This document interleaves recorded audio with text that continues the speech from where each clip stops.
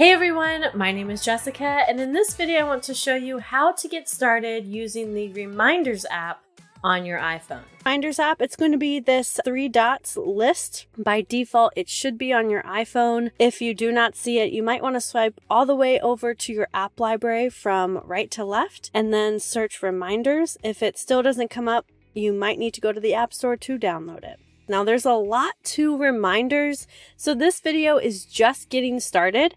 I'm to go ahead and select new reminder here at the bottom. I need to remind myself of my doctor's appointment coming up. Type in doctor appointment. Any notes that I need to put in, I can select them here.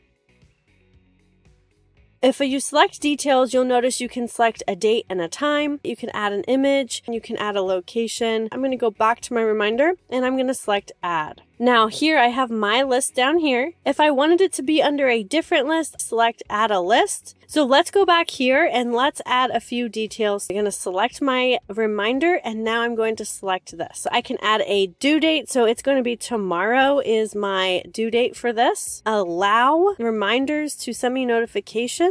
I'm also going to add a location of when I need to get in the car or I can customize it. You can add a tag so it's easy to follow. So I'm going to tag all of my appointments as appointments. I'm going to flag this because it is important. You could even scan or add an image. So you could scan a document, you could add an image from your photos library, or you could take a photo. Let's say you have a document that goes along with this reminder. You could add that here. When you are finished, go ahead and select done. Now I have my updated reminder. I also have tags listed here at the bottom. I don't have anything to complete today. I do have one scheduled now that I added that due date and it's listed under my flagged reminders. Now, if I have completed this, select the circle and it will now show as completed.